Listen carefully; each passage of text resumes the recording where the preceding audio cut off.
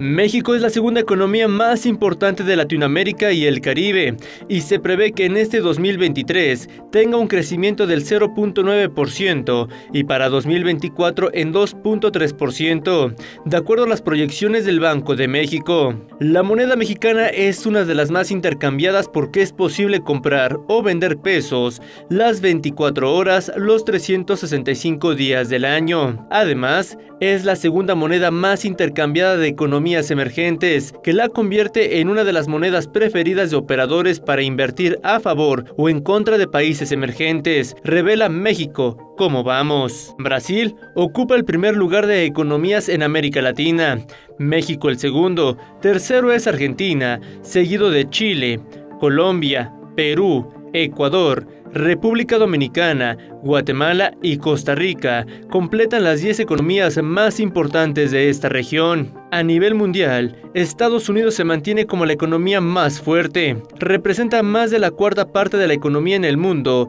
de acuerdo con el Fondo Monetario Internacional. China, Japón, Alemania e India completan las primeras potencias económicas. En este año, el peso mexicano se fortaleció. A inicios de marzo se apreció hasta 17.90 pesos mexicanos por dólar, un nivel en el tipo de cambio que no se observaba desde septiembre de 2017. En 2022 hubo incrementos históricos en exportaciones no petroleras, 17% más que en 2021. De acuerdo con la organización México, ¿cómo vamos? Revela incrementos de la industria manufacturera y automotriz en remesas 13.4%, más que en 2021. En exportaciones petroleras 34% más que en 2021. En inversión extranjera directa 12% más que en 2021. En turismo 42% más que el año antepasado y de inversiones en cartera. En las imágenes, Neri Lucero.